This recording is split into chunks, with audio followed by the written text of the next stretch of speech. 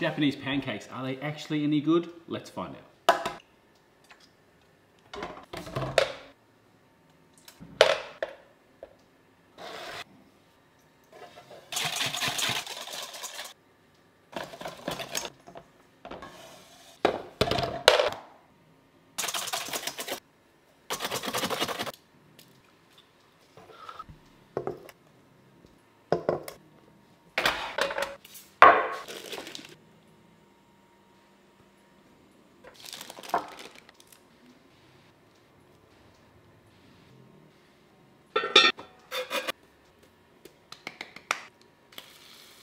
Calm down.